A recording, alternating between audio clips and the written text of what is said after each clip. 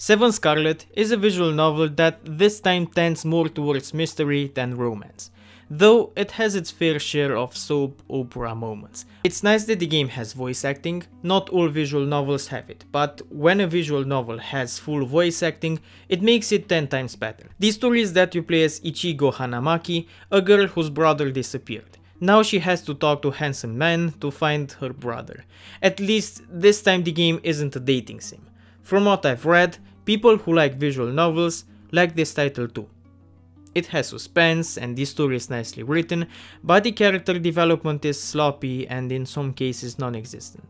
But all in all, if you're into visual novels, check this one out too. You're very probably going to like it.